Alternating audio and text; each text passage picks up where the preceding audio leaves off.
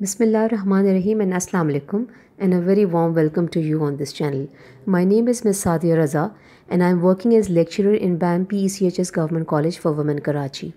This video has been prepared under the guidance and leadership of our respected principal Madam Rukhsana Baloch and keeping in view the requirement of our BCom students. The subject we have selected is Economic Development of Pakistan. The students may refer to the recommended reading resources, paper pattern and course outline according to the guidance given by University of Karachi.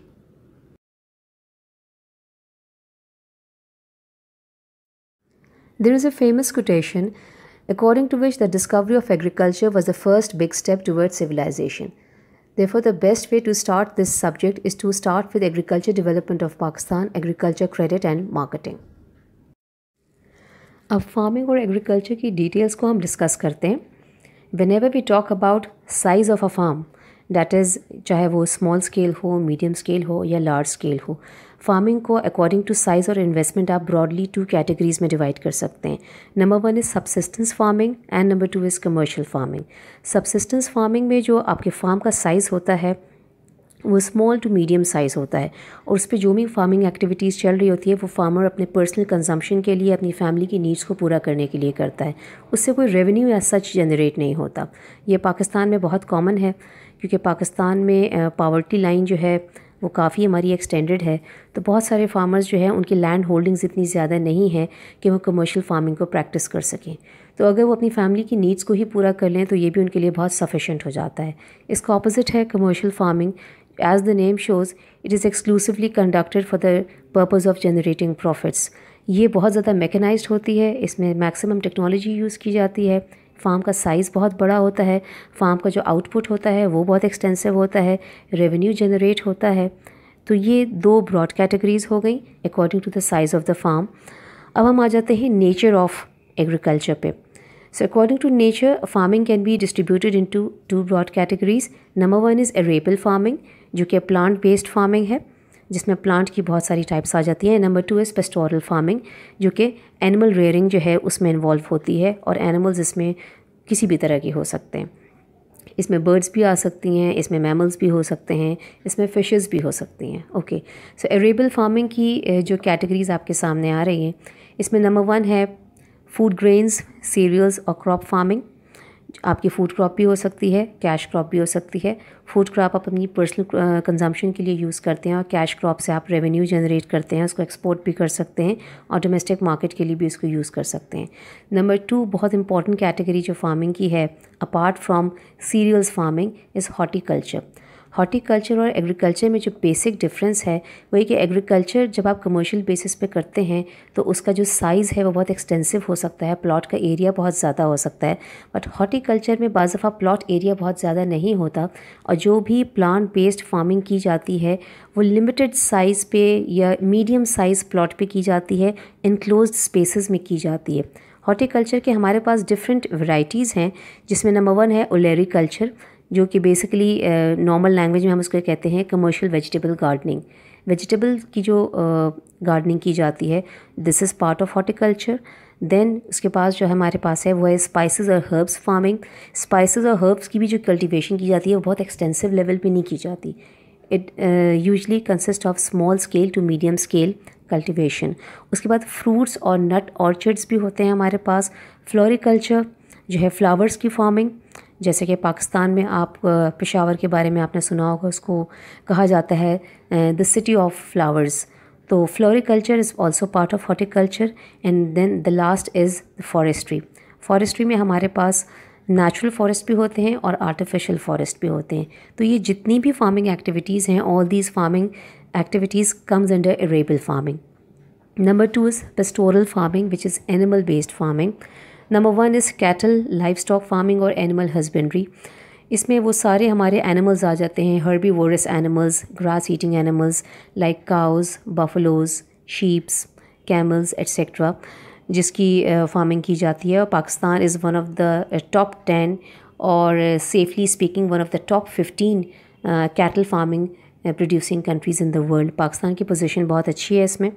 Pakistan की cattle की quality भी बहुत अच्छी है और इस पर मज़ीद इम्प्रूवमेंट जो है उसकी गुंजाइश भी मौजूद है two is dairy farming. Dairy farming and cattle farming are uh, closely associated because obviously जब हमारे पास कैटल uh, होगा हर तरह का तो हमें उससे मिल्क जो है वो मिलेगा और जब मिल्क होगा तो आप उससे डेयरी फ़ार्मिंग कर सकते हैं डेयरी फ़ार्मिंग में बेसिकली आपके पास जो रॉ मटेरियल मिल्क के फॉर्म में आता है आप उसकी डिफरेंट बाय प्रोडक्ट्स प्रोड्यूस करते हैं in the form of butter और क्लैरिफाइड बटर और cheese etcetera dairy based products जो हैं। साथ साथ हमारे पास एक और इंपॉर्टेंट कैटेगरी जो है वो है poultry farming poultry farming is related to edible birds farming edible birds में हमारे पास हैन है डक्स हैं और कुछ दूसरी ऐसी बर्ड्स हैं कि जिसको हम कंज्यूम करते हैं। तो वैसे भी आप जानते हैं कि जब आ, ये एक, एक पुराना ट्रेडिशन है कि जब आपके पास एक एक कल्टिवेबल लैंड होती है, उस पर आप कल्टिवेशन भी कर रहे हैं साइड बाई साइड आप वहाँ पे कुछ एनिमल्स जो हैं, उसको भी अपने साथ वहाँ पे रख लेते हैं। तो एनिमल्स की जो फ़ीड आती है, वो हमारे पास उस कल्टिवेबल लैंड से आ जाती है। फिर एनिमल से जब हमारे पास मिल्क आता है तो उस मिल्क से हम बाय प्रोडक्ट्स प्रोड्यूस करते हैं। तो ये सारी जितनी भी एक्टिविटीज़ हैं they are very closely related उसके अलावा, बाज़ दफ़ा ये भी पॉसिबल होता है कि आपके पास इतनी स्पेस हो तो वहाँ पर आप चिकन्स भी रख लें। तो वहाँ से आपको एग भी मिल जाता है चिकन भी मिल जाती है, दूसरी प्रोडक्ट्स भी मिल जाती हैं। तो पोल्ट्री फ़ार्मिंग भी एनिमल बेस्ड फ़ार्मिंग का एक बहुत इंपॉर्टेंट हिस्सा है। उसके बाद जो नेक्स्ट कैटेगरी है, ये फ़िश फ़ार्मिंग और एक्वाकल्चर ये भी एक बहुत पोटेंशियल रेवेन्यू जनरेटिंग एरिया है। फ़िश फ़ार्मिंग, एक्वाकल्चर वहाँ प्रैक्टिस की जाती है, जहाँ पे या तो आपके कोस्टल एरियाज़ हों और अगर कोस्टल एरियाज़ या सी वाटर फिशेज़ ना हो तो अगर आपके पास वहाँ पे रिवर्स हैं स्ट्रीम्स हैं तो वहाँ पे आप फ़िश फ़ार्मिंग या एक्वाकल्चर प्रैक्टिस कर सकते हैं, क्योंकि फ़िश की ब्रीड जो है फ़िश बेबीज़ वहाँ पे रेडली अवेलेबल होते हैं तो वहाँ पे आप ये प्रैक्टिस कर सकते हैं। बेसिकली कराची में, पंजाब में ये काम होता है। उसके बाद एक और बहुत इंपॉर्टेंट एरिया है, वो है एपिकल्चर और बी कीपिंग ये बहुत इंपॉर्टेंट प्रोडक्ट है क्योंकि ऑर्गेनिक हनी की वर्ल्ड वाइड बहुत डिमांड है। और लोग इस पर प्राइस पे जो है वो कॉम्प्रोमाइज़ कर जाते हैं बट ऑर्गेनिक हनी जो है उसकी डिमांड बहुत ज़्यादा है। तो पाकिस्तान में लिमिटेड स्केल पे बी कीपिंग और एपिकल्चर भी हो रहा है। लेकिन इसमें मज़ीद ज़रूरत है कि गवर्नमेंट सपोर्ट करे ताकि हमें ऑर्गेनिक ही हनी जो है वो इम्पोर्ट ना करना पड़े और हम लोकली प्रोड्यूस्ड जो प्रोडक्ट है उसको कंज्यूम करें और अपनी लोकल इंडस्ट्री को सपोर्ट करें।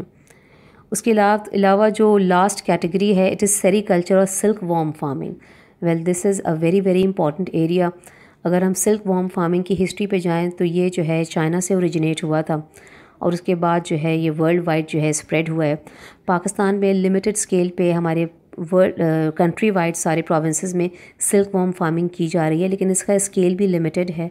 यहाँ पे भी ज़रूरत है कि गवर्नमेंट इसको, इस सेक्टर को सपोर्ट करे, ताकि जो है एक अच्छी क्वालिटी सिल्क जो है वो हमारे कंट्री में प्रोड्यूस हो, और हम उसको ख़ुद भी कंज्यूम करें और इसको एक्सपोर्ट भी कर सकें।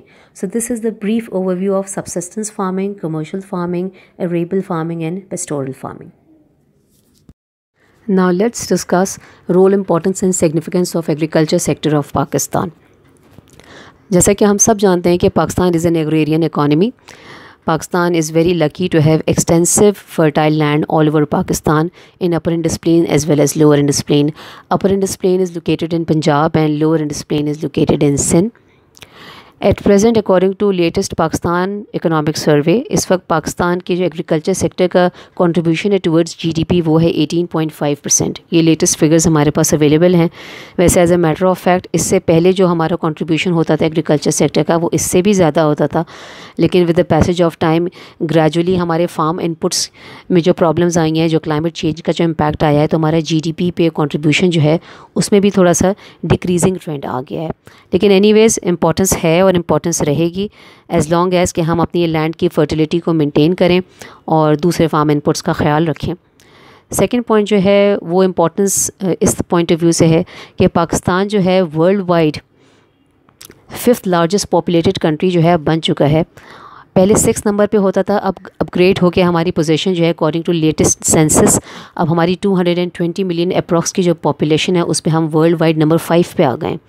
और अमंग इस्लामिक कंट्रीज़ हम इस वक्त नंबर टू पे हैं आफ्टर इंडोनेशिया तो इतनी बड़ी पॉपुलेशन की फ़ूड सिक्योरिटी जो है उसको मेंटेन करना, इतनी बड़ी पॉपुलेशन को फ़ीड करना इज़ नॉट अ जोक तो पाकिस्तान अगेन बहुत ब्लेस्ड है कि हमारी जितनी बेसिक फ़ूड रिक्वायरमेंट्स हैं, हमारी जो जितनी भी स्टेपल फ़ूड है, वो पाकिस्तान में अवेलेबल है. चाहे वो वीट हो राइस हो लेंटल्स हों पल्सेस हों, या दूसरी ग्रेन्स हों शुगर केन हो स्पाइसेस हों हर्ब्स हों बहुत सारी ऐसी प्रोडक्ट्स हैं जो पाकिस्तान में रेडी रेडीली अवेलेबल हैं।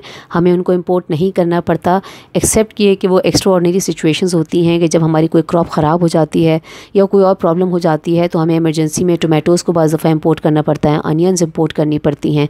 Otherwise we are self sufficient in food production और ये एक बहुत बड़ा एज है अकॉर्डिंग टू अदर कंट्रीज़ क्योंकि बहुत सारे ऐसे कंट्रीज़ जिनके पास ये लैंड फर्टिलिटी नहीं है उनके uh, जो फ़ूड इम्पोर्ट्स का बिल जो है वो बहुत ज़्यादा होता है। इस केसेस इस पॉइंट ऑफ़ व्यू से हम एग्जांपल ले सकते हैं मिडिल ईस्टर्न कंट्रीज़ की, जो ऑयल प्रोड्यूसिंग कंट्रीज़ हैं। अल्लाह ताला ने उनको ऑयल की वेल्थ तो दी है, लेकिन अल्लाह ताला ने उनको फर्टाइल लैंड नहीं दिए तो उनका जो बहुत बड़ा इंपोर्ट बिल होता है, वो फ़ूड की परचेजिंग पे जाता है।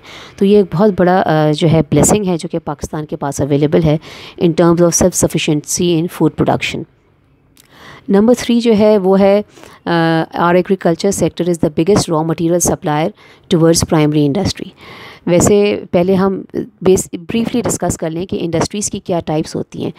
नंबर वन जो होती है, वो होती है प्राइमरी इंडस्ट्री जो कि बेसिकली रॉ मटेरियल सप्लायर होती है, जिसमें एग्रीकल्चर का सबसे बड़ा कंट्रीब्यूशन होता है। एग्रीकल्चर है फॉरेस्ट्री है फ़िशिंग है माइनिंग है क्वायरिंग है, ये सारी प्राइमरी इंडस्ट्रीज़ हैं, जो कि रॉ मटेरियल सप्लाई करती है रॉ मटेरियल प्रोड्यूस करती हैं। प्राइमरी इंडस्ट्री के बाद सेकेंडरी इंडस्ट्री होती है, जो कि बेसिकली वैल्यू एडेड इंडस्ट्री होती है, जो कि रॉ मटेरियल को प्रोसेस करके, उसकी फॉर्म को चेंज करके, उसको फिनिश गुड्स में कन्वर्ट करती है और उसमें वैल्यू एडिशन करती है। और थर्ड इंडस्ट्री जो होती है, वो होती है टेरिटियरी इंडस्ट्री और सपोर्ट इंडस्ट्री जो कि ना तो कुछ रॉ मटेरियल सप्लाई करती है, ना उसको प्रोड्यूस करती है, ना उसको प्रोसेस करती है, बल्कि इन दोनों इंडस्ट्रीज़ को सपोर्ट करती है, जिसमें हमारा फाइनेंशियल सेक्टर है ट्रांसपोर्टेशन सेक्टर है हेल्थ है एजुकेशन है लीगल कंसल्टेंसी है एडमिनिस्ट्रेटिव डिपार्टमेंट्स हैं, ये हमारे सारे के सारे टेरिटियरी इंडस्ट्रीज़ में आ जाते हैं। तो चूँकि पाकिस्तान का जो सबसे बड़ा सेक्टर है, वो एग्रीकल्चर सेक्टर है तो ऑब्वियसली हमारे पास एम्पल क्वांटिटी में रॉ मटेरियल मौजूद है, जो कि हम अपनी सेकेंडरी इंडस्ट्री को सप्लाई करते हैं। और वो सारी इंडस्ट्रीज़ जो कि इस रॉ मटेरियल को यूज़ करती हैं और इसको फर्दर इसमें वैल्यू एडिशन करती हैं, वो बहुत फ्लरिश कर रही हैं पाकिस्तान में, जिसमें से कुछ सिलेक्टेड इंडस्ट्रीज़ जो हैं वो है like textile spinning weaving textile composite sugar industry leather and tanneries है फ़ूड बेवरेजेस एंड टोबैको है फ़ूड प्रोसेसिंग इंडस्ट्री है एडिबल ऑयल एक्सट्रैक्शन इंडस्ट्री है dairy industry poultry chemical and pharmaceuticals paper and board ये इतनी industries जो पाकिस्तान में चल रही हैं और कई हमारी अच्छी कंपनीज़ काम कर रही हैं public sector and private sector में, इनका रॉ मटेरियल सप्लायर जो है वो हमारा अपना एग्रीकल्चर सेक्टर है। And this is a very very healthy sign and this is a very positive sign ये और बात है कि कभी कुछ इनपुट्स हमें इम्पोर्ट भी करने पड़ते हैं बट बहुत सारे इनपुट्स हमारे पास लोकली अवेलेबल हैं just because of our agriculture sector उसके बाद एक और जो इसका एक सिग्निफिकेंट एरिया है, वो है buyer of industrial products from secondary industries जिस तरह से हम इंडस्ट्रीज़ को सप्लाई कर रहे होते हैं रॉ मटेरियल पे, बिल्कुल इसी तरह से जब उनकी वैल्यू एडेड प्रोडक्ट्स जब प्रोड्यूस होती हैं तो ये हमारा एग्रीकल्चर सेक्टर इसको बाय बैक भी कर रहा होता है। तो ये दोनों इंडस्ट्रीज़ एक दूसरे पे इंटरडिपेंडेंट है सप्लायर भी हैं और साथ साथ बायर भी हैं। तो हमारी कुछ ऐसी सेकेंडरी इंडस्ट्रीज़ जिसकी प्रोडक्ट्स को इंडस्ट्रियल प्रोडक्ट्स को, या कंज्यूमर प्रोडक्ट्स को हमारा एग्रीकल्चर सेक्टर बाय भी करता है, उसमें से हमारी कुछ एग्रीकल्चर मशीनरीज़ हैं, जो कि लोकली प्रोड्यूस हो रही हैं। इसके अलावा टूल्स हैं फर्टिलाइज़र्स है पेस्टिसाइड्स हैं हमारा बैंक्स एंड इंश्योरेंस सेक्टर है, जिसकी फाइनेंशियल सर्विसेज़ को हमारा एग्रीकल्चर सेक्टर अवेल करता है, हमारा ट्रांसपोर्टेशन एंड लॉजिस्टिक्स सेक्टर है, जिसकी सर्विसेज़ को जो है, हमारा एग्रीकल्चर सेक्टर जो है, उसका बायर है ऑटोमोबाइल असेंबलिंग इंडस्ट्री है केमिकल इंडस्ट्रीज़ है तो ये दोनों इंडस्ट्रीज़ साइमल्टेनियसली एक दूसरे को सपोर्ट कर रही हैं and this is a very positive sign एक और हमारे पास जो पॉइंट है, जो कि बहुत इंपॉर्टेंट है, वो है बिगेस्ट एम्प्लॉयर ऑब्वियसली जब आ, सबसे ज़्यादा कंट्रीब्यूशन हमारे एग्रीकल्चर सेक्टर की है तो सबसे ज़्यादा एम्प्लॉयमेंट प्रोवाइडर जो है वो भी हमारा यही एग्रीकल्चर सेक्टर है। एट प्रेजेंट हमारा agriculture sector around 38.5 to 40 percent जो है टोटल एम्प्लॉयमेंट फोर्स को जॉब्स प्रोवाइड कर रहा है डायरेक्टली यानी इनडायरेक्टली तो जितना हम अपने एग्रीकल्चर सेक्टर को प्रमोट करेंगे सपोर्ट करेंगे उतना ही हमारे एम्प्लॉयमेंट अपॉर्चुनिटीज़ क्रिएट होंगी। तो ये भी बहुत इंपॉर्टेंट एरिया है जिस हम ब्लेस्ड हैं और इसमें मज़ीद इम्प्रूवमेंट होनी चाहिए।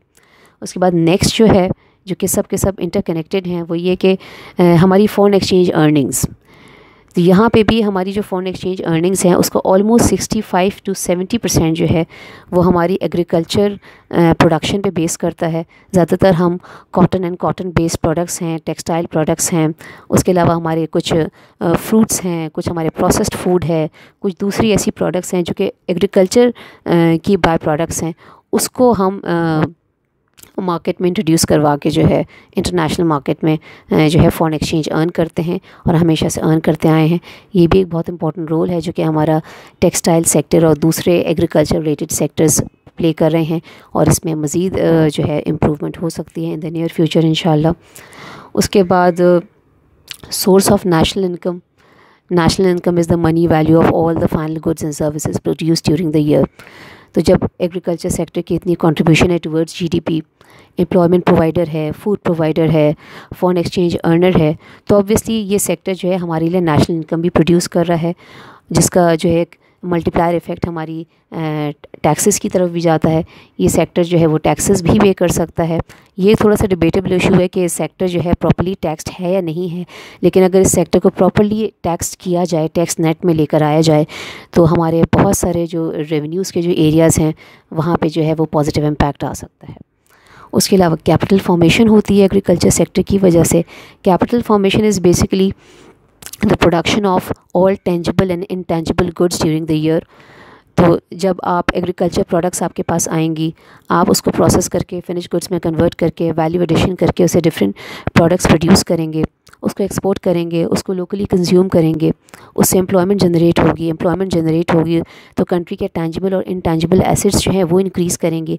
तो ये ओवरऑल इम्पैक्ट जो होता है, इसको हम कैपिटल फॉर्मेशन कहते हैं। नेक्स्ट अगर आप इसमें मज़ीद आप देखें तो जो हमारा लास्ट पॉइंट है, वो है इकोनॉमिक डेवलपमेंट तो आप जितनी भी अच्छी एक्टिविटीज़ करते हैं इकोनॉमिक एंड कमर्शियल एक्टिविटीज़ करते हैं, उसका ओवरऑल जो इम्पैक्ट आता है, वो हमारी इकोनॉमिक डेवलपमेंट पे आता है और हमारे सब्जेक्ट का नाम ही यही है, पाकिस्तान इकोनॉमिक डेवलपमेंट तो एग्रीकल्चर सेक्टर बहुत इंपॉर्टेंट रोल प्ले कर रहा है और मज़ीद इसमें बहुत पोटेंशियल है कि ये इंपॉर्टेंट रोल प्ले कर सकता है. अगर हम उन प्रॉब्लम एरियाज़ को जो है लुक आफ्टर करें और उसको सॉल्व करने की कोशिश करें तो एग्रीकल्चर सेक्टर का जो कंट्रीब्यूशन है टुवर्ड्स जीडीपी और इंक्रीज़ हो सकता है। ना let's have a look over problem areas जो कि हमारे एग्रीकल्चर सेक्टर में हैं और जिसकी वजह से हमारा एग्रीकल्चर सेक्टर शायद उस जगह पे नहीं है जहाँ उसको होना चाहिए और इन्हीं प्रॉब्लम की वजह से एग्रीकल्चर सेक्टर का जो जीडीपी कंट्रीब्यूशन है, वो भी जो है स्लाइटली हमारा ड्रॉप हो चुका है। नंबर वन जो प्रॉब्लम है, वो है under utilisation of cultivable land resource ये एक बहुत ग्रेव इशू है, क्योंकि पाकिस्तान का जितना भी कवर्ड एरिया है, उसमें हमें अच्छा खासा जो है वो कल्टिवेबल लैंड एरिया अवेलेबल है, लेकिन जितना आउटपुट होना चाहिए, उतना आउटपुट हमारा है नहीं। अगर हम वर्ल्ड जो हमारे स्टैंडर्ड्स हैं, उससे अगर हम कंपेयर करें तो हमारे एग्रीकल्चर आउटपुट का ratio almost one is to four का बनता है। कि अगर कोई दूसरा कंट्री अगर फोर टाइम्स प्रोड्यूस कर रहा है तो हम उसका वन टाइम प्रोड्यूस कर रहे हैं। तो ये बहुत अलार्मिंग सिचुएशन है। उसके बावजूद कि हम एग्रेरियन कंट्री और हमारा आउटपुट वहाँ तक पहुँच नहीं पा रहा। तो उसकी रीज़न ये है कि हम अपने कल्टिवेबल लैंड एरिया को प्रॉपरली यूटिलाइज़ नहीं कर रहे। हमारा जो लैंड एरिया है वो अंडर यूटिलाइज है। अप्रॉक्सीमेटली अगर 80 मिलियन हेक्टर्स लैंड है तो हम हार्डली उसका 22 मिलियन हेक्टर्स जो है वो उसको यूटिलाइज़ कर रहे हैं। तो ऑब्वियसली हम 50 परसेंट एरिया को भी कल्टिवेशन में इस्तेमाल नहीं कर रहे। तो आप खुद सोच रहे कि हमारी फिर आउटपुट इतना नहीं होगा और जब आउटपुट नहीं होगा तो ऑब्वियसली जीडीपी कंट्रीब्यूशन में उसका रोल भी कम होगा एम्प्लॉयमेंट अपॉर्चुनिटीज़ भी ड्रॉप हो जाएँगी और बाकी सारे फैक्टर्स भी लोअर साइड पे चले जाएँगे। तो ये बहुत ज़रूरी है कि हम अपने टोटल कल्टिवेबल एरिया को जो है प्रॉपरली यूटिलाइज़ करें ऑप्टिमम यूटिलाइजेशन करें उसकी। अच्छा इसकी एक और वजह जो है, जो कि gradually over the period of time जो क्रिएट हुई है प्रॉब्लम वो है क्लाइमेट चेंज क्लाइमेट चेंज की वजह से हमारे वेदर पैटर्न्स बहुत चेंज हो चुके हैं। हमारी और रबी और ख़रीफ क्रॉप्स जो हैं, जो इनके सीजन्स हुआ करते थे, उसमें थोड़ा बहुत जो है वेरिएशंस आ गई हैं। जब हम एक्सपेक्ट कर रहे होते हैं कि अब हमें रेनफॉल की ज़रूरत है तो उस वक्त जो है ड्राउट लाइक सिचुएशन आ जाती है। और जब हम, जब चाह रहे होते हैं कि नहीं, अब जो है, यहाँ पे रेनफॉल हमें नहीं होनी चाहिए तो वहाँ पे अनएक्सपेक्टेड रेनफॉल आ जाती है। जैसे अक्सर ऐसा होता है कि जब वीट क्रॉप की हार्वेस्टिंग होती है तो रेनफॉल हो जाती है और वीट की क्रॉप ख़राब हो जाती है। रिसेंटली पाकिस्तान में ऐसा हुआ है। तो ये क्लाइमेट चेंज की वजह से ओवरऑल ग्लोबल वार्मिंग की वजह से बहुत नेगेटिव इम्पैक्ट आया है, सिर्फ़ पाकिस्तान में ही नहीं वर्ल्ड वाइड रिसेंटली लोकस्ट जो है, ये प्रॉब्लम बहुत क्रिएट करने लगी है. हमारी पूरी रेडी क्रॉप होती है और लोकस्ट आके उस क्रॉप को पूरा का पूरा ख़राब कर देती है. और ये जो भी रीज़न्स हैं तो ये क्लाइमेट चेंज जो है ये भी बहुत नेगेटिव इम्पैक्ट क्रिएट कर रहा है और इरेटिक रेनफॉल इरेटिक रेनफॉल का मतलब होता है कि रेनफॉल का पैटर्न जो है वो अनप्रडिक्टेबल हो चुका है। पहले रेनफॉल की सीजन्स हुआ करते थे। अब जिन सीजन्स पे रेनफॉल नहीं होनी चाहिए, उस सीज़न में भी हो जाती है। तो ये भी एक बहुत प्रॉब्लम क्रिएट कर रहा है और हमारा अच्छा खासा आउटपुट जो है वो बाज़ दफ़ा वेस्ट हो जाता है। फिर इन एडिक्वेट इरीगेशन फैसिलिटीज़ हैं ऑब्वियसली आपको पता है कि वर्ल्ड वाइड हम वाटर क्राइसिस की तरफ़ जा रहे हैं, बल्कि इनफैक्ट वाटर क्राइसिस की तरफ़ आ चुके हैं। तो इसका इम्पैक्ट पाकिस्तान में भी काफ़ी हो रहा है। इरिगेशन फैसिलिटीज़ जो कि इंडिपेंडेंस के वक्त जो कि बनी हुई थी, उसके बाद इस पर काम तो हुआ है, लेकिन जितना एक्सटेंसिव इरिगेशन पे काम होना चाहिए, उतना नहीं हो पा रहा। मज़ीद इसमें इम्प्रूवमेंट की काफ़ी गुंजाइश है। उसके अलावा जो है over exploitation of ground water resource चूँकि पाकिस्तान की पॉपुलेशन बढ़ती जा रही है इंक्रीज़ कर रही है। तो हमारा जो ग्राउंड वाटर अवेलेबल है ग्राउंड वाटर जितना भी अवेलेबल है, चाहे अंडरग्राउंड वाटर हो या ग्राउंड वाटर हो, जितने भी हमारे फ्रेश वाटर रिसोर्स हो या मरीन वाटर हो प्रॉब्लम ये हो रही है कि हमारी पॉपुलेशन जब बढ़ रही है तो पॉपुलेशन के साथ साथ इसका एक साइमल्टेनियस इफ़ेक्ट ये आ रहा है कि हमारा इंडस्ट्रियल कंजम्पशन जो है, उसकी भी डिमांड बढ़ रही है वाटर की। Industrial use commercial use and domestic use जितनी हमारी पॉपुलेशन इंक्रीज़ करेगी इंडस्ट्रियल की demand industry industries commercial area और डोमेस्टिक वाटर की जो डिमांड है, वो भी इंक्रीज़ करेगी। तो उसकी वजह से क्या हो रहा है कि बहुत ज़्यादा वाटर जो है, वो ओवर एक्सप्लॉइट हो रहा है और उसकी वजह से पानी जो है, उसके रिज़र्व्स में काफ़ी कमी आ रही है। प्लस ये कि हमारे पास इनएडिक्वेट वाटर कंजर्वेशन और स्टोरेज फैसिलिटीज़ का प्रॉब्लम भी है। जितनी पाकिस्तान की जो है हमारे एग्रीकल्चर सेक्टर की रिक्वायरमेंट है, उतने हमारे पास डैम्स एंड बराजेस नहीं हैं। अगर पाकिस्तान अपना कंपैरिजन चाइना से करे या इंडिया से करे तो उनके पास जितने रिसोर्स हैं, उतने पाकिस्तान के पास नहीं हैं। रिसेंटली एक कैंपेन जो है वो लॉन्च हुई थी for the construction of the Diamer Bhasha dam तो वो जो है, वो हमारा जो प्रोजेक्ट है, वो भी अंडर कंसिड्रेशन है। कब वो फुली मटीरियलाइज़ होता है, ये तो बात की बात है। लेकिन ये सारी चीज़ें जो हैं, अगर इनको थोड़ा सा कंट्रोल कर लिया जाए तो हमारे जो एग्रीकल्चर सेक्टर के प्रॉब्लम्स हैं, काफ़ी हद तक सॉल्व हो सकते हैं। उसके अलावा वाटर लॉगिंग एंड सैलिनिटी जो है ये एक पुरानी प्रॉब्लम है कि अगर हम अपनी लैंड होल्डिंग्स को प्रॉपरली मैनेज नहीं करेंगे तो वाटर लॉगिंग जब पानी जो है वो एक जगह जमा हो जाता है या पानी जो है उसके अंदर सॉल्ट कंटेंट बहुत बढ़ जाता है तो फिर वो कल्टिवेबल नहीं रहता। वो लैंड होते हुए भी हमारे लिए यूज़लेस हो जाती है। तो इस प्रॉब्लम को भी केटर करने के लिए गवर्नमेंट काम करती रहती है। लेकिन ये कि फुल एफिशिएंसी पे अगर किसी चीज़ को लिया जाए तो फिर उसकी रिज़ल्ट्स बेहतर आ सकते हैं।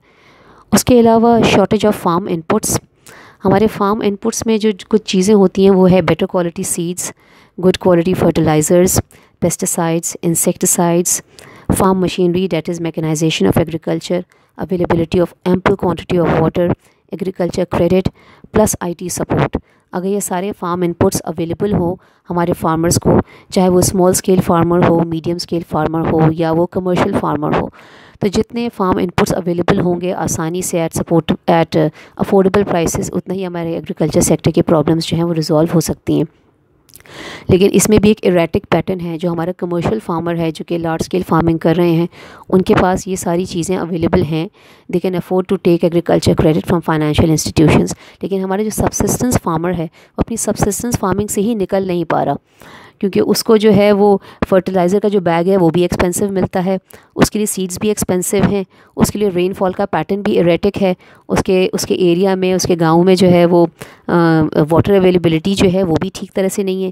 जिसकी वजह से वो अपने उस विशेष सर्कल से निकल नहीं पा रहा कि वो अपने फ़ार्मिंग एक्टिविटीज़ को थोड़ा एक्सपैंड कर सके।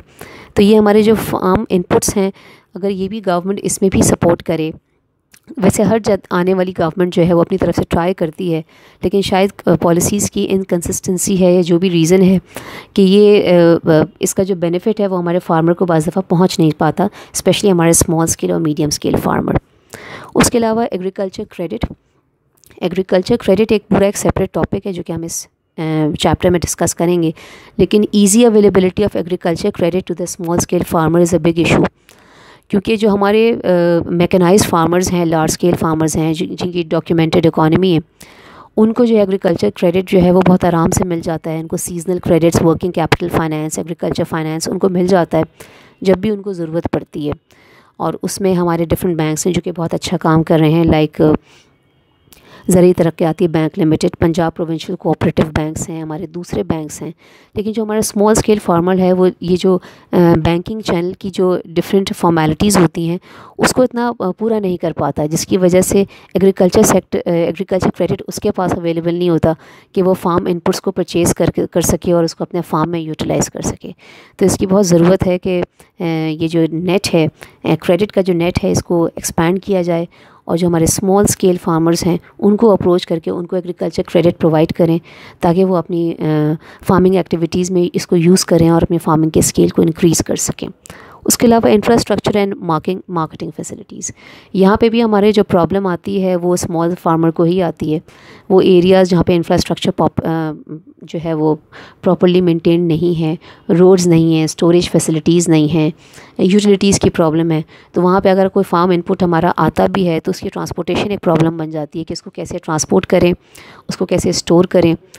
बाज़ दफ़ा हमारी अच्छी खासी जो क्रॉप्स होती हैं प्रॉपर स्टोरेज फैसिलिटी ना होने की वजह से जो है, वो वेस्ट हो जाती हैं। प्रॉपर ट्रांसपोर्टेशन ना हो तो भी वो वेस्ट हो जाती हैं। जब उनके पास ट्रांसपोर्टेशन का इतना टाइम नहीं होता तो वो बहुत ही नॉमिनल प्राइस पे अपना एग्रीकल्चर आउटपुट जो है, उसको आगे जो सप्लाई चेन है, उसको फॉरवर्ड कर देते हैं। तो इंफ्रास्ट्रक्चर इसमें काफ़ी इम्प्रूवमेंट आई है पाकिस्तान में, लेकिन मज़ीद इसमें काफ़ी इम्प्रूवमेंट होनी चाहिए। जितनी इंफ्रास्ट्रक्चर की भी इम्प्रूवमेंट होगी तो हमारी जो फ़ार्मिंग कम्यूनिटी है, उनको बहुत सारी आसानियाँ होंगी। एग्रीकल्चर मार्केटिंग जो है, ये भी एक बहुत इंपॉर्टेंट एरिया है कि आप अपनी एग्रीकल्चर आउटपुट जो है, उसकी प्रॉपर मार्केटिंग करें। वर्ल्ड वाइड जो हमारी कुछ ऐसी प्रोडक्ट्स हैं मार्केटिंग होती है, बिल्कुल होती है। लाइक हमारा सिंध में जो हमारा मीरपुर ख़ास रीजन है, ये अपनी मैंगो की प्रोडक्शन के लिए बहुत फ़ेमस है। तो ये जो हमारी यहाँ की जो कम्युनिटी है, ये अपने मैंगोज़ की मार्केटिंग प्रॉपर करते हैं। हमारे सिट्रस फ्रूट्स की मार्केटिंग होती है। हमारे कोयटा बलूचिस्तान साइड पे जो एप्रिकॉट्स हैं प्लम हैं, या दूसरी बेरीज़ हैं, उनके लिए भी अच्छी मार्केटिंग होती है। लेकिन इसको मज़ीद इम्प्रूवमेंट करने की ज़रूरत है और ख़ासतौर पर एग्रीकल्चर कल्चरल आउटपुट को जो है, उसको फ़ूड प्रोसेसिंग इंडस्ट्री को सपोर्ट करने की ज़रूरत है, ताकि हमारी एग्रीकल्चरल प्रोड्यूस जो है, उसको हम ऑफ़ ऑफ़ सीज़न जो है, उसको स्टोर कर सकें प्रिजर्व कर सकें ब्रांडिंग एंड पैकेजिंग करके उसको इंटरनेशनल मार्केट में इंट्रोड्यूस करवा सकें। तो ये कुछ एरियाज़ हैं जिन पर अगर काम किया जाए तो पाकिस्तान का एग्रीकल्चर सेक्टर बहुत इम्प्रूव कर सकता है। जिसमें जो बहुत इंपॉर्टेंट जो एरिया है, वो है availability of timely water and utilization of land resource previous slides में हमने काफ़ी डिटेल में डिस्कस किया है कि what are the role and significance of agriculture sector towards the development of Pakistan economy and what are some of the grey areas इस slide में हम ज़रा ये देखेंगे कि हमारी प्रीवियस गवर्नमेंट्स और प्लस हमारी प्रेजेंट गवर्नमेंट जो है, उन्होंने कलेक्टिवली ऐसे कौन से मेजर्स लिए हैं जिनको अप्लाई करके हम अपने एग्रीकल्चर सेक्टर में इम्प्रूवमेंट क्रिएट कर सकते हैं। नंबर वन तो ये कि हमारी जो एग्रीकल्चर सेक्टर को जो रेगुलेट कर रहा है, वो ministry of national food security and research है, जो कि हमारे पूरे एग्रीकल्चर सेक्टर के लिए पॉलिसीज़ डिवाइस करते हैं। उसको इम्प्लीमेंट करवाते हैं, उससे रिलेटेड जो है पूरी मॉनिटरिंग एक्टिविटीज़ करते हैं हायरिंग करते हैं और सारी प्लानिंग एक्टिविटीज़ करते हैं। उसके बाद पाकिस्तान एग्रीकल्चर रिसर्च काउंसिल है जो सारी रिसर्च एक्टिविटीज़ कर रहे हैं। कि कौन सी सीड्स डेवलप की जाएँ कौन सा फर्टिलाइज़र होना चाहिए आ, कौन से इंसेक्टिसाइड्स एंड पेस्टिसाइड्स हमारी क्रॉप्स को और हमारी क्लाइमेट को सूट करते हैं। कौन सी मैकेनाइजेशन ऑफ़ एग्रीकल्चर एक्टिविटीज़ हैं जो एग्रीकल्चर को इम्प्रूव कर सकती हैं। ये सारी रिसर्च हमारी पाकिस्तान एग्रीकल्चर रिसर्च काउंसिल कर रही है।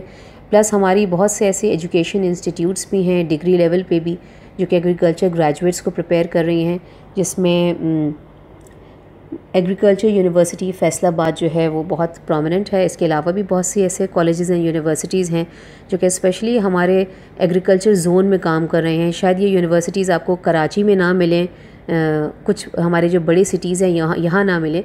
इसकी वजह सिर्फ़ ये है कि यहाँ पे एग्रीकल्चर एक्टिविटी है नहीं। लेकिन जहाँ जहाँ एग्रीकल्चर एक्टिविटी हो रही है, उससे कनेक्टेड जो है वो सप्लाई चेन मौजूद है, वहाँ ये एग्रीकल्चर यूनिवर्सिटीज़ बहुत अच्छा काम कर रही हैं। और डिफरेंट एरियाज़ पे फार्म इनपुट्स पर रिसर्च भी कर रही हैं और उसको इम्प्लीमेंट भी करवा रही हैं। सेकेंडली ये कि मेकनाइज्ड फ़ार्मिंग को प्रमोट करने के लिए गवर्नमेंट ने 50 परसेंट सब्सिडी जो है, वो अनाउंस की है फार्म मशीनरी पे और होपफुली फार्मर्स इस फैसिलिटी को यूटिलाइज़ करेंगे और ज़्यादा से ज़्यादा अपनी फ़ार्मिंग को मैकेनाइजेशन की तरफ़ लेकर जाएँगे ताकि हमारी क्वालिटी और क्वांटिटी दोनों इम्प्रूव करें। उसके अलावा certified and tested seeds national oil seeds enhancement programme ये भी जो है पैरेलल जो है, हमारी न्यू गवर्नमेंट जो है, उसने स्टार्ट किया है और इस पर काम हो रहा है कि बेहतर से बेहतर वैरायटी जो है, वो सीड्स की एग्रीकल्चर प्रोडक्ट्स की लेकर आएँ हाइब्रिड वैरायटीज़ लेकर आएँ, ताकि हमारे आउटपुट भी इम्प्रूव हो और उसकी क्वालिटी भी इम्प्रूव हो। उसके अलावा जो है, जहाँ वाटर का जो इशू है, वो मैंने आपसे पहले भी डिस्कस किया था कि दियामीर भाषा डैम जो है और कुछ दूसरे mini and small size dams जो हैं उस पर काम स्टार्ट हो चुका है। कुछ काम अभी पेपर वर्क अंडर डॉक्यूमेंटेशन में है कुछ प्लानिंग फ़ेज़ में है कुछ की जो है ग्राउंड ब्रेकिंग सेरेमनी हो चुकी है। तो let's hope and keep our fingers crossed कि आने वाले दिनों में जो है uh, हमारा जो वाटर रिसोर्स जो है ये इतना सफिशेंट होगा कि हमें अपनी क्रॉप्स की प्रोडक्शन में ज़्यादा प्रॉब्लम ना हो। उसके अलावा अगर हम अपनी पेस्टोरल फ़ार्मिंग का एरिया देखें तो वहाँ पे shrimp farming cage fish culture trout farming in the northern areas of Pakistan ये भी हमारी गवर्नमेंट ने कुछ ऐसे स्टेप्स लिए हैं और इसके लिए डिफरेंट इंसेंटिव्स ऑफ़र कर रहे हैं ताकि हमारे जो एक्वा कल्चर है वो भी इम्प्रूव करे और हम अपनी मरीन प्रोडक्ट्स जो हैं उसको भी एक्सपोर्ट कर सकें। उसके अलावा जो है पेस्टोरल फ़ार्मिंग का एक और इंपॉर्टेंट एरिया है पोल्ट्री फ़ार्मिंग तो बैक यार्ड पोल्ट्री प्रोग्राम जो है, ये भी गवर्नमेंट ने इंट्रोड्यूस करवाया है फॉर स्मॉल स्केल फार्मर्स तो ये भी बहुत अच्छी स्कीम है। और ये, इनकी डिटेल्स अभी बहुत ज़्यादा नहीं आई हैं। ये अभी प्लानिंग फ़ेज़ में है। इस पूरे, ये जो गवर्नमेंट हमारी प्रेजेंट गवर्नमेंट है, जब तक ये अपना टेन्योर कंप्लीट करेगी, इनका प्लान है कि इसको डिफरेंट फ़ेज़ में स्टेप वाइज लेकर आगे जाएँगे। तो जैसे रीसेंट गवर्नमेंट ने जैसे डिफरेंट प्रोग्राम्स अभी इंट्रोड्यूस करवाए जवान प्रोग्राम लोन स्कीम है, या दूसरी स्कीम्स हैं, एहसास प्रोग्राम है। या दूसरा जो है वो हेल्थ कार्ड्स हैं। तो स्टेप बाय स्टेप इनका ये प्लान है कि ये वाले जो एग्रीकल्चर के डिफरेंट जो फ्यूचर प्लान्स हैं इनके, इसको भी स्टेप बाय स्टेप लेकर आगे जाएँगे और लोगों को अवेयरनेस क्रिएट करेंगे और लोगों को इनवाइट करेंगे कि वो इन फैसिलिटीज़ को अवेल करें। उसके अलावा जहाँ तक एग्रीकल्चर मार्केटिंग का ताल्लुक है तो एक ऑर्गेनाइज एग्रीकल्चर मार्केटिंग एक्टिविटीज़ है जो कि हर साल जो है अरेंज की जाती है in the heart of Punjab the capital of Punjab Lahore और इसमें जो कोलेबोरेट करते हैं, वो हमारा जो है Dawn Pakistan food and agri expo जो है डॉन ग्रुप ऑफ़ न्यूज़पेपर्स वाले, वो इसमें कोलेबोरेट करते हैं, हमारी मिनिस्ट्री ऑफ़ एग्रीकल्चर कोलेबोरेट करती है। और ये एक एक्सपो जो है, एक एग्ज़िबिशन हर साल लाहौर में अरेंज किया जाता है, जहाँ पे सारे जो है एग्रीकल्चर सप्लाई चेन मैनेजमेंट के जितने भी प्लेयर्स हैं, उनको इनवाइट किया जाता है। लोकल प्लेयर्स भी और इंटरनेशनल प्लेयर्स भी कि वो पाकिस्तान में आएँ और लाहौर में अपनी प्रोडक्ट्स को शो करें, चाहे वो उनकी मैकेनाइज्ड मशीनरी हो, चाहे उनकी कोई केमिकल टेक्नोलॉजी हो या वाटर से रिलेटेड कोई ऐसी टेक्नोलॉजी हो कि वाटर की अवेलेबिलिटी को इम्प्रूव किया जाए, या कोई बायोटेक्नोलॉजी हो, कोई इम्प्रूव्ड सीड्स हों, या कोई इंफॉर्मेशन एंड कम्युनिकेशन टेक्नोलॉजी हो, जिसके थ्रू जो है हमारे फार्मर्स की प्रोडक्टिविटी और परफॉर्मेंस को इम्प्रूव किया जाए। उसके अलावा जितने भी हमारे एग्रीकल्चरल बैंक्स हैं, उनको भी इनवाइट किया जाता है इंश्योरेंस कंपनीज़ को भी इनवाइट किया जाता है कि वो आएँ और अंडर वन रूफ अपनी प्रोडक्ट्स को शोकेस करें। फ़ार्मिंग कम्यूनिटी को इन्वाइट किया जाता है कि वो आएँ, उस एग्ज़िबिशन को अटेंड करें, अपनी प्रोडक्ट्स को शोकेस करें, ताकि हमारे लोकल बायर्स और इंटरनेशनल बायर्स के अंदर अवेयरनेस क्रिएट हो और हमारी प्रोडक्ट्स जो हैं, उनको एक इंटरनेशनल रिप्रेजेंटेशन मिले। और इसके लिए वो हर साल एक स्पेशल सप्लीमेंट भी प्रिंट करते हैं। तो मैं अपने स्टूडेंट्स को एडवाइस करूँगी कि ये एक्टिविटी जो है, ये जो डॉन पाकिस्तान एग्रीकल्चर एक्सपो होता है, ये हर साल जो है वो अप्रैल टू जून के बिटवीन ये अरेंज किया जाता है। तो मैं ज़रूर अपने स्टूडेंट्स को इनका जो सप्लीमेंट है वो रेफ़र करती हूँ कि उसको रीड करें ताकि उनकी नॉलेज में इजाफ़ा हो। तो आप लोग भी अगर सुनने वाले हैं तो जब भी एग्ज़िबिशन हो मार्च और अप्रैल के बीच में तो न्यूज़पेपर्स और मीडिया जो है उसको फॉलो करें और इससे रिलेटेड जितनी भी इंफॉर्मेशन है उसको ज़रूर गैदर करें तो आपका एग्रीकल्चर सेक्टर पे नॉलेज आपकी बहुत बढ़ेगी। उसके अलावा जो है आ, हमारी जो फेडरल गवर्नमेंट के साथ साथ जो पंजाब की प्रोविंशियल गवर्नमेंट है और इसमें बल्कि हम सिंध गवर्नमेंट को भी इंक्लूड कर लेते हैं क्योंकि upper Indus plain and lower Indus plain इन्हीं दो रीजन्स में है। तो इन सबने अपने जॉइंट कोलैबोरेशन से कनेक्टेड एग्रीकल्चर प्लेटफॉर्म जो है, वो पंजाब, इसको जो है वो इंट्रोड्यूस करवाया है अंडर किसान पैकेज और इसके थ्रू वो ये चाह रहे हैं कि इस किसान पैकेज के थ्रू और कनेक्टेड एग्रीकल्चर प्रोग्राम के थ्रू फार्मर्स को जो है एजुकेट करें कि किस तरह से वो डिफरेंट ऑनलाइन सर्विसेज़ जो है वो यूज़ कर सकते हैं. अपनी प्रोडक्टिविटी को इम्प्रूव करने के लिए। फॉर एग्ज़ाम्पल उन्होंने इस प्रोग्राम के थ्रू कुछ ऐसे एलिजिबल फार्मर्स में जो है स्मार्टफोन्स जो हैं एंड्रॉयड बेस्ड स्मार्टफोन्स भी डिस्ट्रीब्यूट किए हैं, ताकि वो जो है एक ऑनलाइन एग्रीकल्चर एडवाइजरी सर्विस भी स्टार्ट की है, ताकि फार्मर्स जो हैं, जितनी भी एग्रीकल्चर की न्यूज़ आ रही हैं नई नई डेवलपमेंट्स आ रही हैं तो उनको इन सारी न्यूज़ का टाइम बाय टाइम पता लगता रहे, कब कौन सा स्विंग सीज़न स्टार्ट होगा, कब हार्वेस्टिंग होगी, कौन सी सीड की वैरायटी बेहतर है किस टेक्नोलॉजी को यूज़ करके वो अपनी इरिगेशन को इम्प्रूव कर सकते हैं। तो ये सारी ऐप्स डेवलप भी हो रही हैं और कुछ इनिशियल स्टेजेस भी हैं। तो ये कनेक्टेड एग्रीकल्चर प्लेटफॉर्म पंजाब के थ्रू वहाँ पे काफ़ी काम हुआ है और होपफुली ये जो है, ये चीज़ ग्रेजुअली पूरे कंट्री में स्प्रेड होगी। उसके अलावा जो है, जहाँ तक एग्रीकल्चर की इंश्योरेंस का ताल्लुक है तो हमारी क्रॉप इंश्योरेंस और हमारी लाइफ स्टॉक इंश्योरेंस बहुत इंपॉर्टेंट है। क्योंकि जब फ्लड आता है तो हमारी क्रॉप, हमारा लाइफ स्टॉक दोनों का बहुत बड़ा लॉस हो जाता है। तो किसान पैकेज के under Islamic crop insurance scheme भी इंट्रोड्यूस करवाई गई है, जिसको हम तकाफुल भी कहते हैं। और इसका phase one two and three जो है, वो पंजाब में इम्प्लीमेंट हो चुका है। और ग्रेजुअली ये चीज़ पूरे कंट्री में आहिस्ता आहिस्ता जो है इंट्रोड्यूस करवाई जाएगी। तो इस तरह से फ़ाइनेंशियली भी कोशिश की जा रही है कि फार्मर्स को ये अवेयरनेस दी जाए कि वो अपने आप को सिक्योर करें, अपने प्रोडक्ट्स को सिक्योर करें। उसके अलावा interest free and subsidize agriculture credit जो है वो वाइडली अवेलेबल है पूरे कंट्री में थ्रू ज़रिए Taraqiati bank limited national bank of Pakistan national rural support programme Telenor bank, Akhuwat foundation, public and private sector दोनों अवेलेबल हैं जिसके थ्रू हम एग्रीकल्चर क्रेडिट ले सकते हैं और एग्रीकल्चर क्रेडिट के थ्रू जितने भी फार्म इनपुट्स हैं, उसमें अच्छी इन्वेस्टमेंट कर सकते हैं। बट लेकिन होना ये चाहिए कि ये एग्रीकल्चर क्रेडिट जो है, ये कमर्शियल फार्मर के साथ साथ सब्सटेंस फार्मर जो है, उसको भी आसानी से दिया जाए ताकि वो उसको यूटिलाइज़ करें और अपने एग्रीकल्चर का स्केल जो है, वो स्मॉल स्केल से लेकर इसको gradually medium to large scale पर लेकर आएँ। इसके अलावा पंजाब में जो है फ़ार्मिंग कम्युनिटी के लिए एक हेल्पलाइन भी इंट्रोड्यूस करवाई गई है जो कि बिल्कुल फ्री है। और होपफुली पंजाब से आहिस्ता आहिस्ता ये चीज़ सिंध की तरफ़ भी आएगी और बाकी प्रोविंसेस में भी जाएगी, ताकि फार्मर्स अपनी किसी भी तरह की कोई एग्रीकल्चर से रिलेटेड कोई क्वेरी है, कोई प्रॉब्लम है तो वो एक्सपर्ट्स से पूछ कर अपनी इस प्रॉब्लम को रिज़ॉल्व कर सकते हैं। उसके अलावा ये चीज़ पहले भी होती रही है अनऑर्गेनाइज सेक्टर में, लेकिन अब कोशिश की जा रही है कि ऑर्गेनाइज सेक्टर में लाइफ स्टॉक की रजिस्ट्रेशन की जाए, क्योंकि जिस तरह से सेंसस होता है ह्यूमन पॉपुलेशन का तो हमारा जो लाइफ स्टॉक है, उसका भी सेंसस बहुत ज़रूरी है।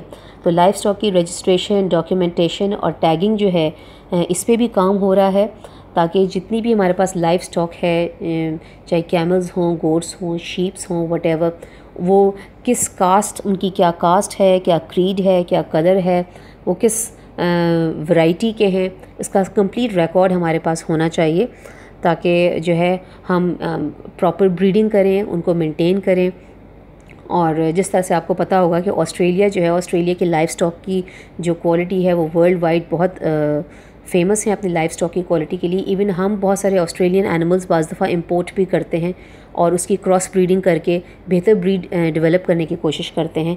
तो इसी कॉन्टेक्स्ट में हमारी जो लोकल ब्रीड है, उसकी भी अगर रजिस्ट्रेशन हो जाए डॉक्यूमेंटेशन हो जाए टैगिंग हो जाए, उसका सेंसस हमारे पास आ जाए तो ये चीज़ बहुत हेल्प आउट कर सकती है गवर्नमेंट को अपनी पॉलिसीज़ को फॉर्मुलेट करने के लिए. तो ये कुछ स्टेप्स हैं जो कि गवर्नमेंट जो है कलेक्टिवली ले रही है प्रीवियस गवर्नमेंट्स भी ले रही हैं प्रेजेंट गवर्नमेंट भी ट्राई कर रही है. लेट्स होप कि आगे आने वाले दिनों में सिचुएशन जो है वो इम्प्रूव करेगी और हम अपने एग्रीकल्चर सेक्टर की कंट्रीब्यूशन जो है उसको इम्प्रूव करेंगे towards our gross domestic product previous slides में मैंने एक वर्ड यूज़ किया था फार्म मैकेनाइजेशन फार्म मैकेनाइजेशन वहाँ बहुत ज़रूरी हो जाता है जहाँ पे आप कमर्शियल फ़ार्मिंग प्रैक्टिस कर रहे हैं इंस्टेड ऑफ़ सबसिस्टेंस फ़ार्मिंग और मैकेनाइजेशन का ऑपोजिट है मैनुअल जो भी काम आप मैनुअली करेंगे, वहाँ पे आप अपने हैंड्स को ज़्यादा यूज़ करेंगे। अपनी फ़िज़िकली अपनी, आपकी जो कैपेबिलिटी है, उसको ज़्यादा यूज़ करेंगे। लेकिन ह्यूमन एनर्जी की भी एक लिमिट होती है। तो अगर आप मैनुअली काम करेंगे तो आप ज़्यादा से ज़्यादा सबसिस्टेंस फ़ार्मिंग प्रैक्टिस कर सकते हैं, अपनी फैमिली की पर्सनल नीड्स को पूरा कर सकते हैं। लेकिन आप उससे कोई रेवेन्यू जनरेट नहीं कर सकते। आप इकोनॉमी में कोई बहुत ज़्यादा एक्सटेंसिव रोल नहीं प्ले कर सकते। So in order to improve our agriculture sector it is very important to go for mechanized agriculture activities farm mechanization का मतलब है use of technology in agriculture technology के डिफरेंट एरियाज़ हैं, जैसे हमारे डिफरेंट फार्म इनपुट्स हैं like seeds fertilizers pesticides insecticides farm farming machinery है water की अवेलेबिलिटी है एग्रीकल्चर क्रेडिट है, ये जितने भी इनपुट्स हैं, अगर वो मैनुअल के बजाय अगर हम उसको मैकेनाइजेशन की तरफ़ ले जाएँ और डिफरेंट फैसिलिटीज़ को यूज़ करें तो उसका सबसे बड़ा फ़ायदा ये होगा कि काम की स्पीड बढ़ जाएगी आउटपुट बढ़ जाएगा कॉस्ट कम हो जाएगी।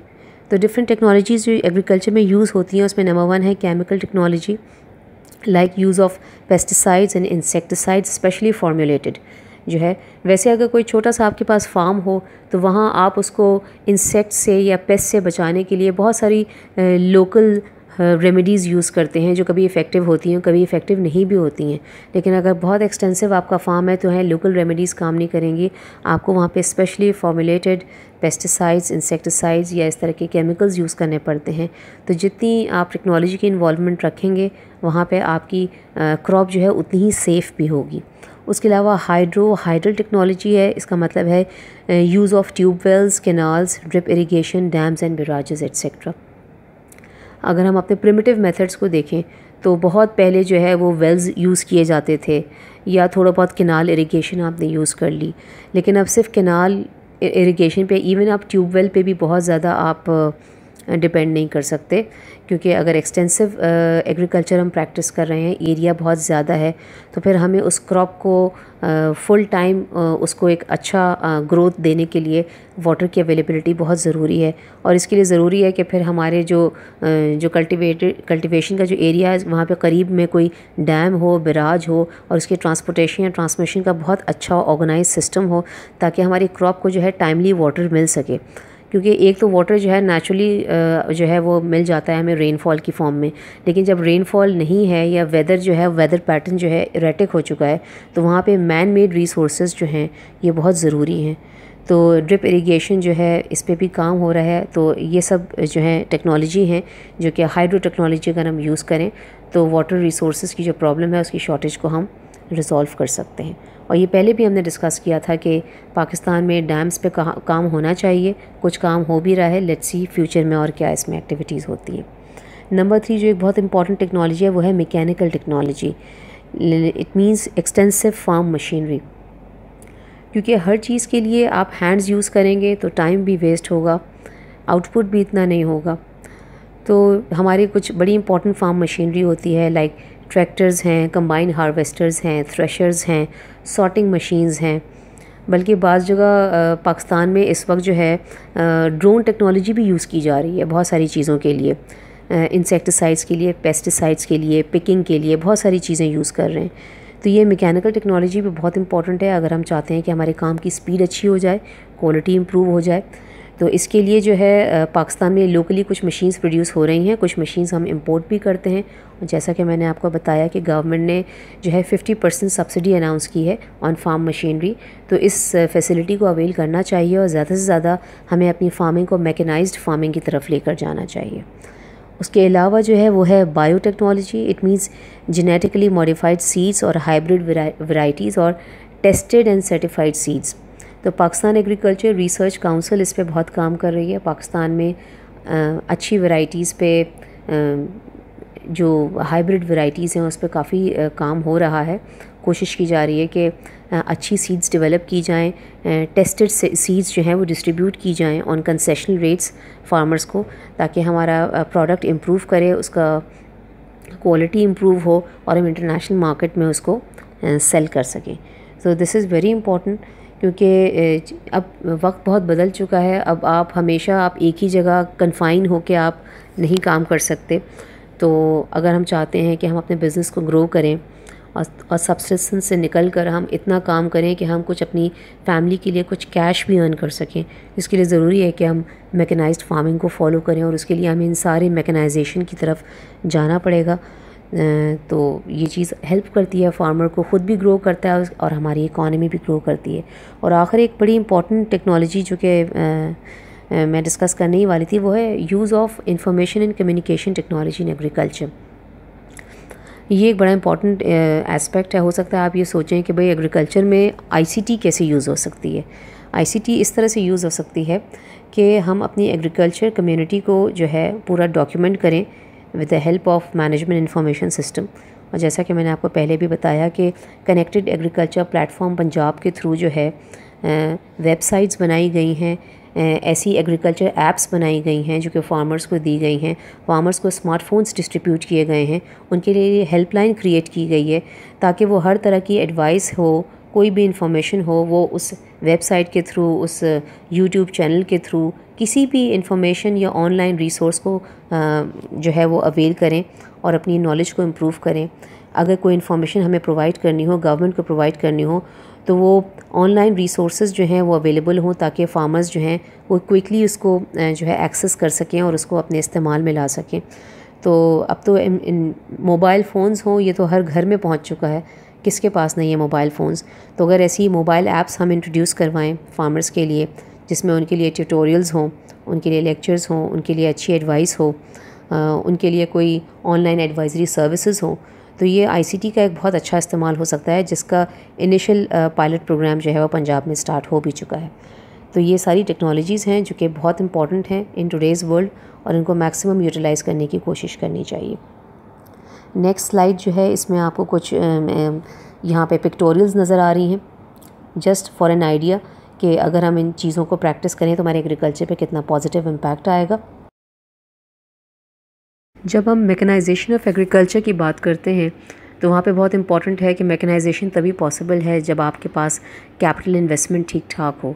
और कैपिटल इन्वेस्टमेंट में अगर आपकी एक्विटी इन्वेस्टमेंट इतनी नहीं है तो देन आपको वहाँ पे फिर जो है, वो डेट फाइनेंसिंग की ज़रूरत पड़ जाती है। और डेट फाइनेंसिंग के लिए यूजली हम फाइनेंशियल इंस्टीट्यूशंस को अप्रोच करते हैं for agriculture credit agriculture credit जो है वो रेडली अवेलेबल है all over Pakistan in the form of short term medium term and long term loans short term loan जो है यूजली वन ईयर के लिए होता है मीडियम टर्म लोन जो है वो one year two three years के लिए होता है maximum and long term loan जो है वो फाइव ईयर एंड प्लस के लिए होता है। और उसका जो बार है वो कम अज़ कम फाइव ईयर्स का जो है वो लॉन्ग टर्म लोन होता है। अच्छा ये लोन्स दिए क्यों जाते हैं? यूजली लोन्स जो हैं, जो दिए जाते हैं उसमें ज़्यादातर जो रिक्वायरमेंट्स होती हैं फार्मर्स को जो है या तो सीड्स परचेज़ करनी होती हैं, फर्टिलाइज़र्स लेने होते हैं, पेस्टिसाइड्स हैं लाइफ स्टॉक की फ़ीड जो है वो परचेज़ करनी होती है या मार्केटिंग एक्टिविटीज़ के लिए रेंट पे करना होता है बाज़ दफ़ा या लोन्स की रीपेमेंट करनी होती है, या लेबर को पे ऑफ़ करना होता है, या कंस्ट्रक्शन ऑफ़ ट्यूब वेल्स हैं, या फिर ये कि आपकी जो रिवर है, उसके एम्बैकमेंट्स की जो है कंस्ट्रक्शन है, रिक्लेमेशन ऑफ़ लैंड है अगर रिवर एक जगह ऐसा है कि जहाँ पे आप लैंड को रिक्लेम कर सकते हैं तो वहाँ पे काफ़ी कंस्ट्रक्शन एक्टिविटीज़ करवानी पड़ती हैं। तो ये सारे काम हैं जिसके लिए ये short term medium term and long term loans जो है, उसकी रिक्वायरमेंट्स क्रिएट हो जाती हैं specially if you are opting for mechanization of agriculture अब इन एग्रीकल्चर क्रेडिट के क्या क्या सोर्सेज पाकिस्तान में अवेलेबल हैं, वो आपके सामने हैं। नंबर वन है टक्कावी लोन्स टक्कावी लोन्स की जो हिस्ट्री है ये प्री पार्टीशन से पहले से स्टार्ट होती है। जब लोकल लेवल पे, बहुत ही डोमेस्टिक लेवल पे, आपकी कम्युनिटी लेवल पे जो है, जो आपकी स्टेट या आपकी गवर्नमेंट होती थी, वो आपको लोन्स प्रोवाइड कर दी थी टकावी लोन्स जो हैं, इसीलिए हिस्टोरिकल बेसिस पे अभी तक एग्जिस्ट कर रहे हैं। ऑल इसका अब प्रोपोर्शन बहुत ज़्यादा नहीं है, लेकिन टकावी लोन्स अभी भी अगर प्रोविंशियल गवर्नमेंट जो है, अगर चाहे तो वो अपनी डिस्क्रिशन पे फार्मर्स को जो है वो क्रेडिट प्रोवाइड कर सकती है। लेकिन इसका मार्जिन अभी बहुत ज़्यादा नहीं है क्योंकि इस लोन्स के अगेंस्ट मार्केट में हमारे पास कमर्शियल बैंक्स भी हैं स्पेशलाइज एग्रीकल्चरल बैंक्स भी हैं कोऑपरेटिव बैंक्स भी हैं। तो इसीलिए टकावी लोन्स जो हैं, वो बहुत लिमिटेड स्केल पे प्रैक्टिस हो रहा है, ज़्यादा नहीं हो रहा। लेकिन स्टार्ट टकावी लोन से ही हुआ था। एग्रीकल्चर क्रेडिट की जो हिस्ट्री है, वो स्टार्ट टकावी लोन से ही हुई थी। अच्छा सेकेंडली हमारे पास कमर्शियल बैंक्स हैं।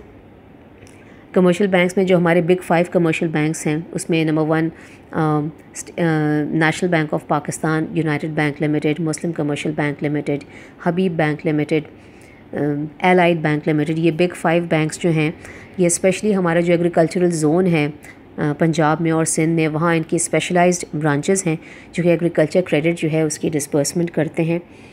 तो इनके फ़ील्ड ऑफिसर्स हैं, इनके फ़ील्ड ऑफिसर्स हैं जो बाज़ दफ़ा डोर टू डोर विज़िट भी करते हैं मार्केटिंग भी करते हैं और कोशिश करके उन फार्मर्स को लोकेट करते हैं जिनकी एग्रीकल्चर क्रेडिट की रिक्वायरमेंट है।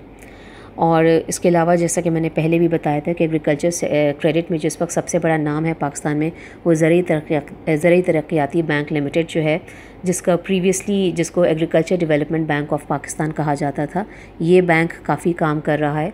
400 प्लस से ज़्यादा इनकी ब्रांचेज़ हैं। और बहुत अच्छा काम कर रहे हैं और फार्मर्स की रिक्वायरमेंट को पूरा करने की अपनी तरफ़ से पूरी कोशिश कर रहे हैं। इसके अलावा कोऑपरेटिव बैंक्स में पंजाब प्रोविंशियल कोऑपरेटिव बैंक जो है उसकी परफॉर्मेंस अच्छी है। तो ये डिफरेंट एवेन्यूज़ हैं जिसको अप्रोच किया जा, जा सकता है for any kind of short term medium term and long term loans और नॉर्मली इस पर मार्कअप चार्ज किया जाता है और लैंड की सिक्योरिटी के अगेंस्ट या मॉडगेज के अगेंस्ट या फिर हाइपोथिकेशन या प्लेज के अगेंस्ट जो है डिफरेंट सिक्योरिटीज़ हैं, उसके अगेंस्ट जो है फार्मर्स फ़ार्मिंग कम्युनिटी को लोन्स जो है वो दिए जाते हैं। अब एक चीज़ जो है यहाँ पे जो कि डिस्कस करनी थोड़ी सी ज़रूरी है, वो है problems of agricultural credit agriculture credit के एवेन्यूज़ पाकिस्तान में हैं, लेकिन ये इतना टेक ऑफ़ क्यों नहीं कर पाता? उसकी वजह यह है कि ऑब्वियसली बैंकिंग चैनल्स को अप्रोच करने के लिए कुछ फॉर्मेलिटीज़ हैं जो पूरी करनी पड़ती हैं। और वो फॉर्मेलिटीज़ जो है वो एक एजुकेटेड फ़ार्मिंग कम्युनिटी जो है उसको आसानी से पूरा कर लेती है।